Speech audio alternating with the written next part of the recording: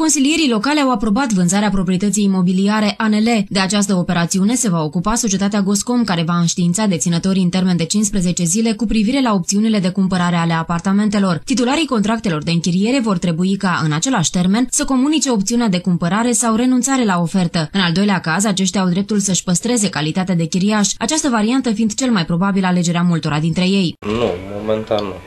Deci nu am posibilitatea să fac un credit ipotecar. Se va achita locuința. Da. Ați avea posibilitatea să le cumpărați? A, nu. Nu. Și cum o să faceți? V-ați gândit la o modalitate de a-l, cum- de a cumpăra? Dacă se poate în continuare cu chirii, o să mergem în continuare pe chirii, în rest. Cam asta. posibilități uh, nu cred că o să avem să le cumpărăm. Cred că tot în chirie o să stăm.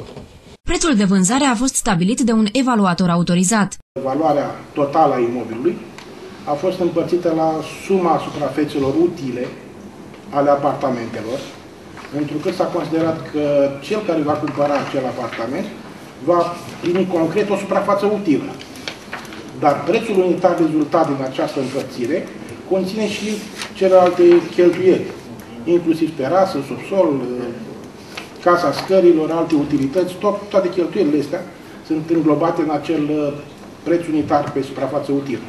Prețurile stabilite sunt în funcție de suprafață, fiind cuprinse între 61.804 lei pentru o garsonieră și 147.956 de lei pentru un apartament cu trei camere. Rămâne de văzut câți dintre cei 58 de chiriași ANL își vor permite să-și cumpere locuințele.